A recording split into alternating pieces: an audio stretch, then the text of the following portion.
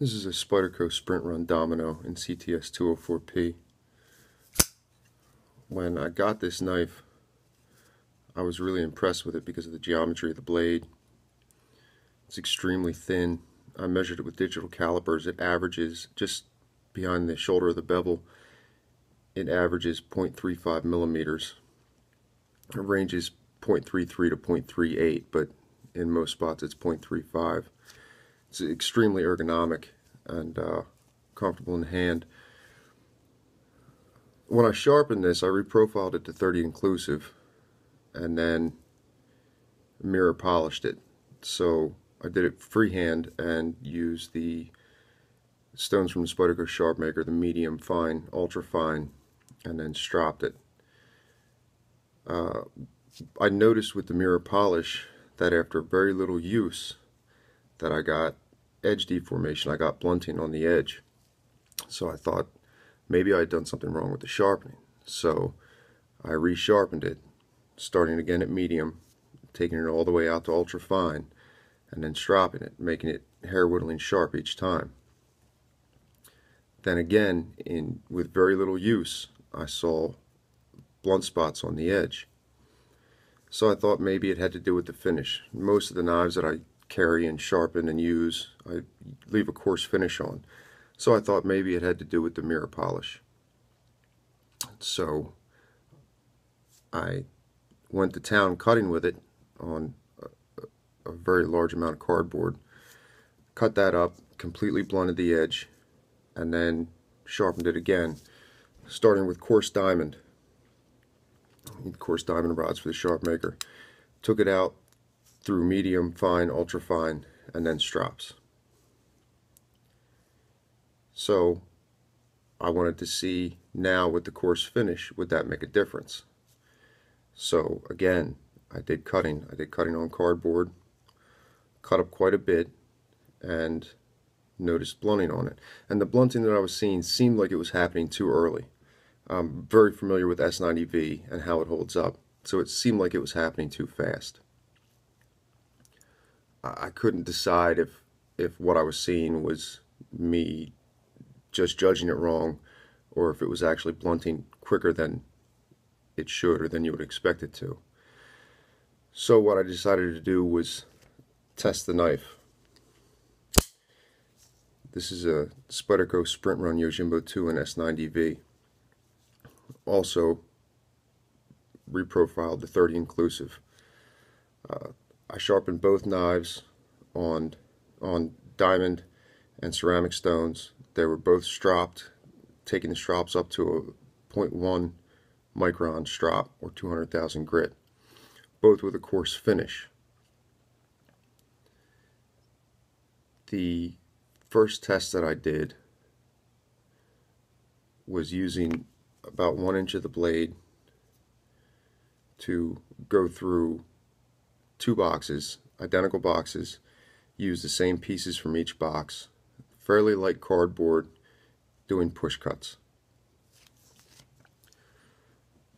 The results of that test, that test was broken down into runs. Each run consisted of cutting up one piece of the cardboard. Each knife cut each equal piece an equal number of times. 204P showed edge deformation after the second run, or 67 cuts in. S90V showed edge deformation after the fourth run, or 123 cuts in. Now the runs weren't the same. There was different a different number of cuts for each run. They're charted here.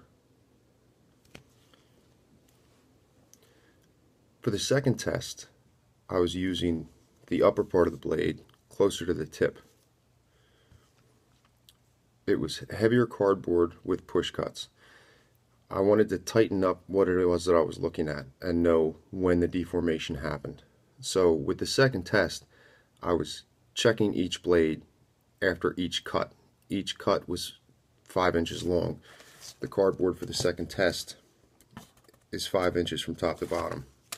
So after each cut, I would stop and I would check the blade to see what I could see. Now once again, this is this is looking for visual deformation not so much cutting performance. The results of the second test were the S90V had 52 cuts before it showed deformation under a flashlight, and the 204P had 16 cuts. I did a third test because uh, I was already there. Well, I noticed that after the second test, where the edges were had deformation on them, they were still sharp. They would still shave hair, and they would still cleanly slice phone book paper. It wasn't they weren't doing it very good, but they were doing it. So I continued the second test into the third test as a sharpness test. I mean, the edges weren't touched in between tests, so it didn't matter. The third test continued on, and the stopping point was dulling to the point of not shaving arm hair and ripping through phone book paper. And each each knife was checked after each cut. The final results of the third test were S90V 62 cuts, 204P 31 cuts. Now keep in mind this is push cutting, it's not slicing. It's push cutting through cardboard. Now if you look at the results, it seems as if the first and second tests, the test looking for visual blunting on the edge, don't correlate. However, if you look at the charted results for the first test, the edge was checked at the end of the second run, or 67 cuts in. But that test had a wide range of certainty because the edges were because of when the edges were being checked. It's not known during the second run when the blunting became apparent. If it happened at the end of the run, then the two tests don't correlate well. And if that's the case, that could be from an error in the testing process or one or several variables. If, on the other hand, the blunting became apparent at the beginning of the second run, around 40 cuts, then the two tests do correlate. Regardless, the end result for me, for what I wanted to know, is that the 204P does in fact blunt faster than S90 faster than S90V, and as far as push cutting with a coarse edge through cardboard at 30 inclusive, at a very high sharpness. It does not have the same edge retention as S90V, regardless of what you hear said about 204P.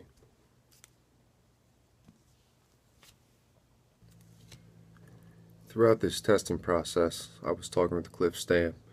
We were having conversations about the test and the steels and different aspects of it. And when all was said and done, I shot the results over to him and at that point, he said what he thought would be interesting is if I reran the test with ATS 34 or steel in that in that range. I thought it would be interesting too. This is a Buck Strider collaboration in ATS 34, heat treated by Paul Bos. I reprofiled the edge to 30 inclusive, then sharpened it freehand from coarse diamond out to ultra fine and then stropped it. Strop that I finished with was 0.1 micron diamond compound at 50% concentration, 200,000 grit. When I put this knife through the second test, it took 11 cuts before I started to see blunting on the edge under our flashlight.